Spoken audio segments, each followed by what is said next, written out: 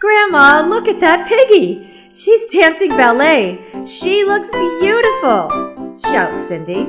Oh, I know her. Her name is Swinka. She is an amazing dancer, says Grandma. When Swinka finishes her grand jeté, Cindy walks up to her. That was amazing! How can a short girl like me learn to dance as well as you do?